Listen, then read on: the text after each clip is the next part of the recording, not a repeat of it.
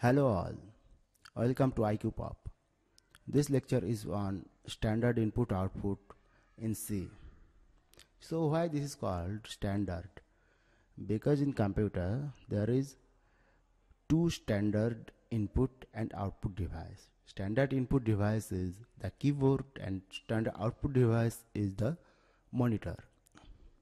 So here in C there is two function which are uh, associated with these two devices uh, so they are called as standard input output function.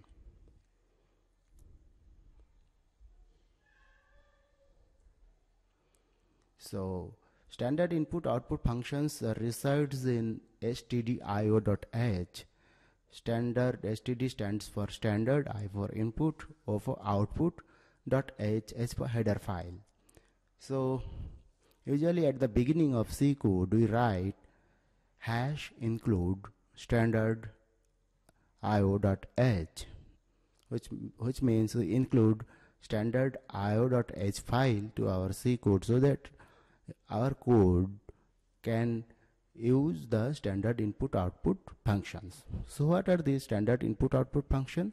They are printf and scanf. So standard output function is printf printf uh, is standard output function because it prints something or displays something on the standard output device that is the computer screen. Here is a sample code uh, to display a number on the screen. Say that number n equal to 5 so i will uh, use code block to demonstrate the same.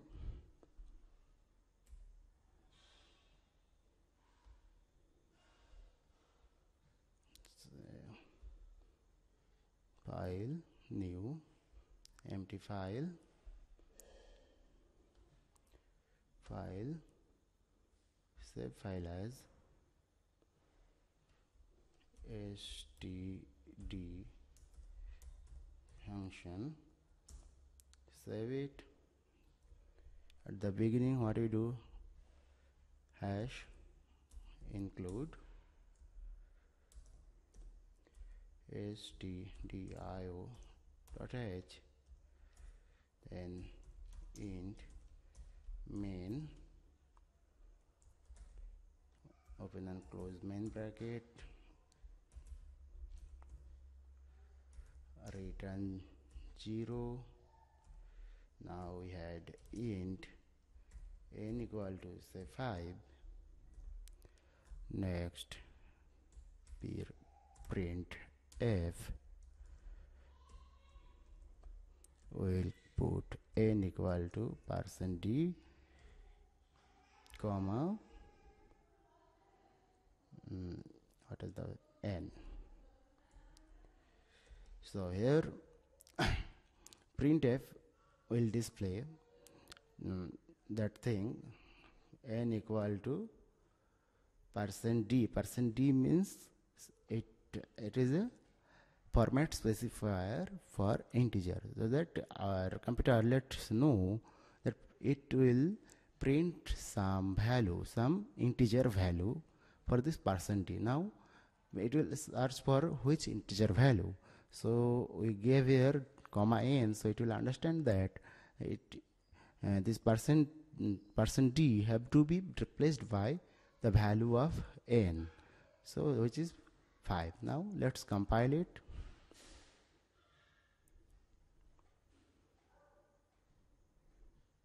is compiled run it. Okay so it is displaying n equal to 5 so here we learn two things one is printf the syntax of printf is printf opening bracket and closing bracket and in C everything or every instruction is terminated by a semicolon. So it is terminated by semicolon and uh, if we want to display something whatever we want to display that should be in double quote so it is there. Okay. So go back to the slide. Now standard input function. So standard input function is scanf it takes any input through keyboard only only through keyboard. Now if you go to the code what was there? N equal to 5 we had fixed. But uh, usually code program should not be like that. Program should be dynamic. So that value of n we should be able to give through the keyboard. Then only we will use the code right? So declare n only the variable n printf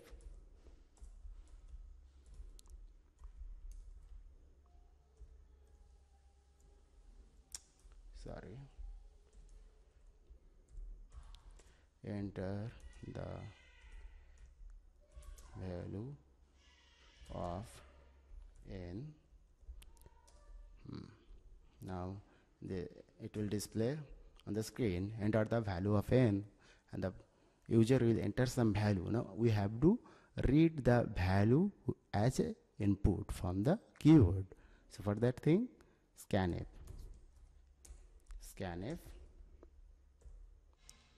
okay.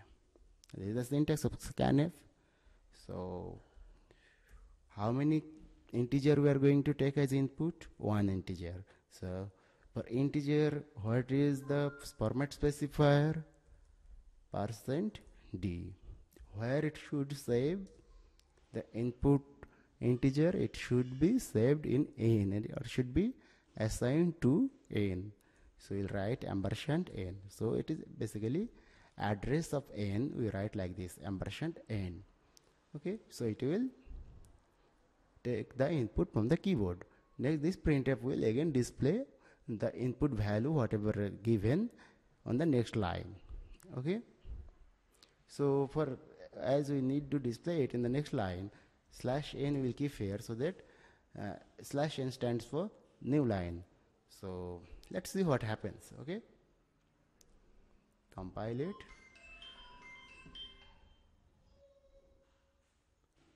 Okay. Enter value of n. So say we enter 8 enter so n equal to 8 so as you had given if you compare it so enter value of n enter value of n is displayed. We have given 8 as input. Next uh, okay this 8 is read by the scanf next new line so it came here. N equal to percent d n. So n equal to 8 is displayed here okay. Decimal points.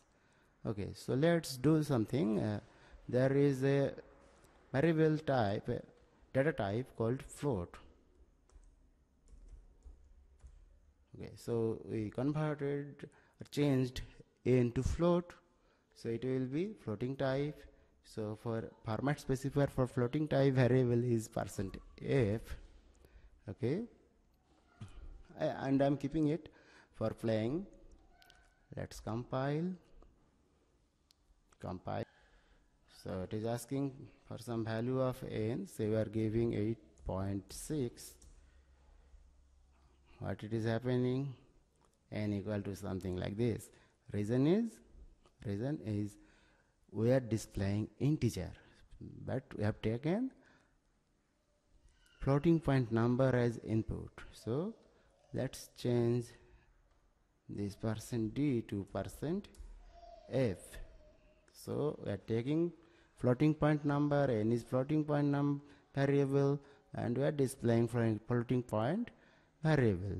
Now see compile and run. What input? Say 9.4 enter say 9.4000 these are decimal places. By default set in C compiler so it is coming. Okay.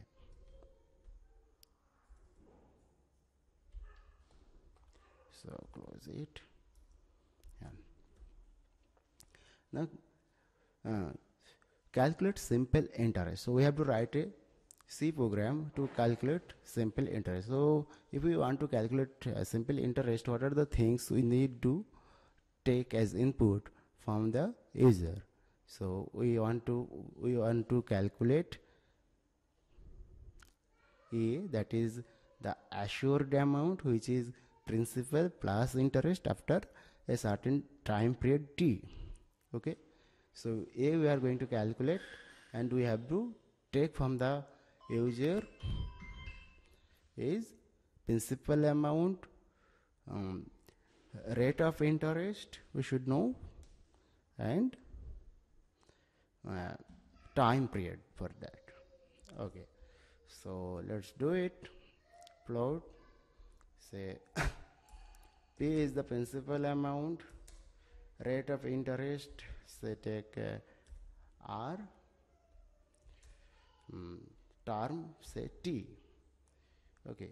And we are going to calculate the assured value a. So what is the first now compile it. No error. Run it.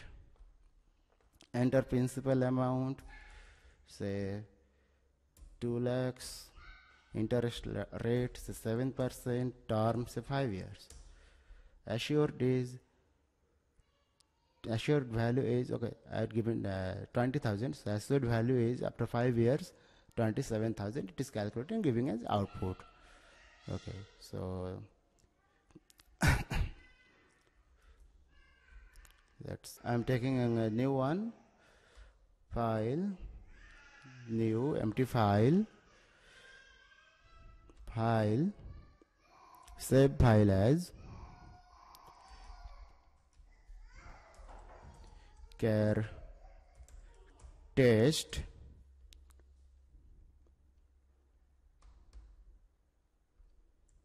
Hash. Include. Stdio dot h. Int. Main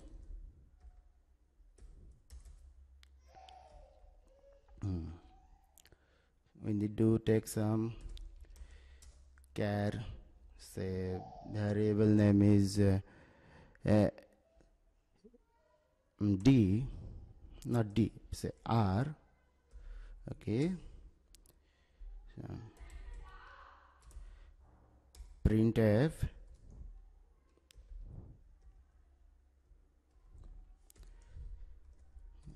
enter uh, character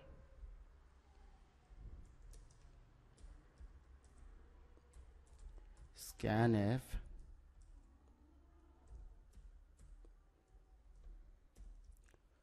percent c comma ampersand r.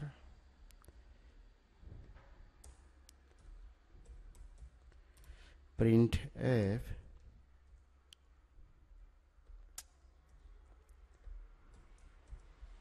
you have entered percent C. So where it is, it is in R semicolon. Compile it, no error, run it, enter a character, say EU, you have entered EU. So this is the way how to take character input.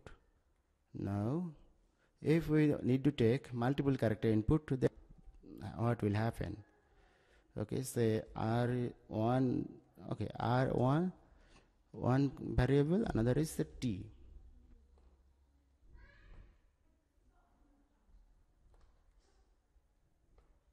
Control c control v. So we can convert all the r to t here. Okay compile it run it. Say first character input i'm giving a. What happened? You have entered a.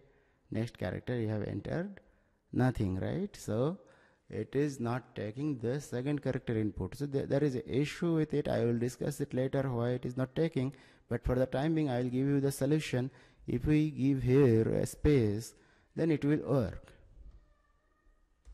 compile it run it give a you have entered a enter a character and now I am entering b you have entered B. Now it is working, right? So if consecutively two character you need to take as input, for the next time onwards we should keep a space here before percent %c. So why does it work? That is another issue I will discuss on later lecture. Now print ASCII code of an input. Uh, we simply do percent %d instead of uh, percent %c. The ASCII code the ASCII code of percent %c is percent %d r comma another r okay so when we will write percent %c. This r will uh, be displayed as character when percent %d this r will be displayed as uh, ASCII code of the character input what we have given. So compile it, no error, run it.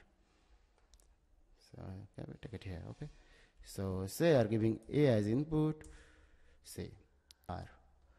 Compile it, no error, run it,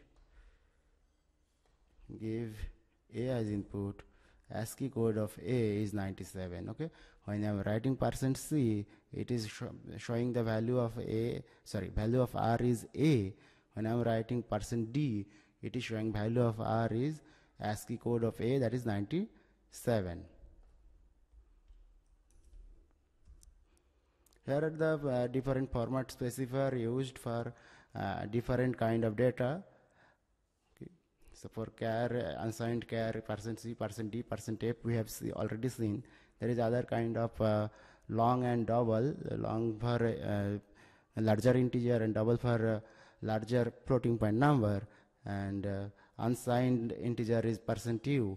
Later on we will discuss all these things in detail when we will discuss uh, data types. So c programs are collection of statements so there is two kind of statements, simple statement and complex statement. So when you write this kind of thing, say some variable equal to some number or some something like this or a, single printf. So these are called sim simple statement.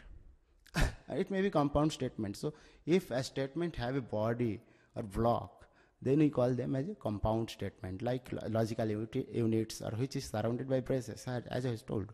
So if then else, when you study all these things, the loops, then you will find that they are complex. So thank you for watching. Like, share and subscribe.